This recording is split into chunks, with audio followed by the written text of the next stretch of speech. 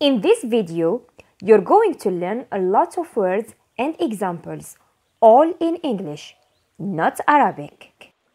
Not only you're going to understand, but you're going to love this way, and soon enough, it will be your favorite way of learn English. And hey, remember I promised to give you an important advice in this lesson. I will keep my promise. At the end of this video, I will give you a very important advice. And don't you worry, I'm going to speak very slowly and you will understand me. Stay with me. Before we start, let me congratulate you on your bravery. You have the courage to trying something new and you didn't afraid to get yourself out from your comfort zone. Trust me, I know that's not easy, but you are here and you didn't scare. You are here. Not everybody is able to do that. And remember, people say, a journey of a thousand miles begins with a single step. Look at you. There you are, sitting now watching an English video and you didn't scare. And that, my friend, is your first step to your success in Learn English. In this video, you will work in all your English skills in once. You will practicing on hearing, reading, and also talking. And at the end of this video, you will learn a lot of new words.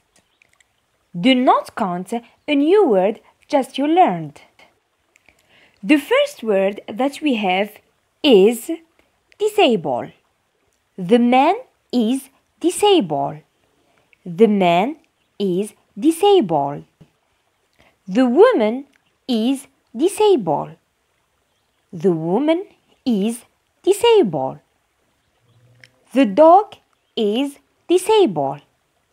The dog is disabled. Please don't translate any words to Arabic in your head. Just forget Arabic, look to picture and repeat the sentences in English. The dog is disabled. The man is disabled. The woman is disabled. Next word is wheel. This is a wheel. Wheel. The car has four wheels. The bicycle has two wheels. The bus has four wheels. This chair is wheelchair.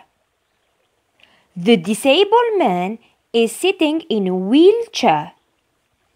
The disabled woman is sitting in a wheelchair. A wheelchair. Next word is together. Together. Two persons say together. The man and the woman are walking together. The boy and the girl are walking together. The children are playing together. Next word is alone. The man is sitting alone. The man is walking alone. The girl is eating alone. So we have two persons are together. One person's say alone. Next word is goalkeeper. The goalkeeper is catching the ball. The dog is catching a bone. The cat is catching a fish. Now, let's have a short revision. The man is sitting alone. The goalkeeper is catching the ball. The man is walking alone. The girl is eating alone. The dog is catching a bone. The man and the woman are walking together. The car has four wheels. The disabled man is sitting in a wheelchair. The cat is catching a fish. Now, next word is clean. The white car is clean. The blue car is dirt. What does the woman do? She's cleaning. Cleaning. The students are cleaning the classroom. The man is cleaning the desk. The man is cleaning the dirty car. Now it's time for the important advice that I promise I give you. Without applying it, maybe you don't feel any progress in your level. You should speak to yourself in English at least 10 minutes a day. No need a mirror. Don't record yourself. No specific time and no specific topic. Just sit and talk to yourself. And even you feel there is nothing inside you to talk about. Make yourself to speak 10 minutes a day and do that every single day. In a busy day, in a free day, in a happy day, and in a sad day.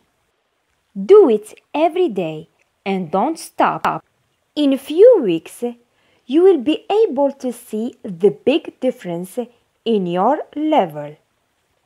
Now, at the end of this video, are you able to understand the new words and their examples? Believe me, this is the only way in speak English. Please do not return to your old eh, way to learn English. Translate to your own language. This way will not benefit you. If you like this video, please subscribe and click the notification of bell to get more new videos. Thank you and have a great day.